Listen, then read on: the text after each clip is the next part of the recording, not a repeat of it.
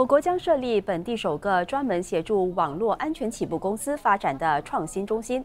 新中心下个月启用，预计未来两年将培训一百名网络安全专才，并帮助多达四十家网安起步公司。通讯及新闻部长雅国博士在国会辩论部门预算时指出，资讯通信媒体发展局去年推出多项计划，帮助物流业和零售业数码化。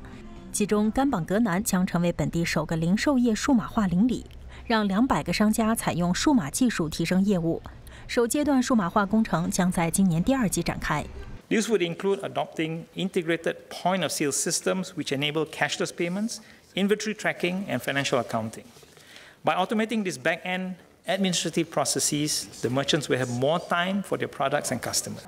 政府也在探讨推出电子发票，协助商家降低营运成本，并更快速收到账款。政府也将推出新资助计划，把多个面对困难的企业以及提供解决方案的业者集合在一起，为企业开发数码解决方案。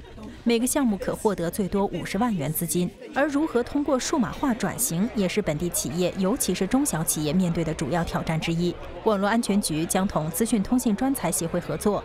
帮助中小型企业提升网络安全知识，以更好地应对网络安全威胁。Cybersecurity is integral to the digital economy. As more services and transactions take place online, it becomes even more important that they are digitally secure and reliable. Cybersecurity is thus a cornerstone of trust in our Smart Nation initiative.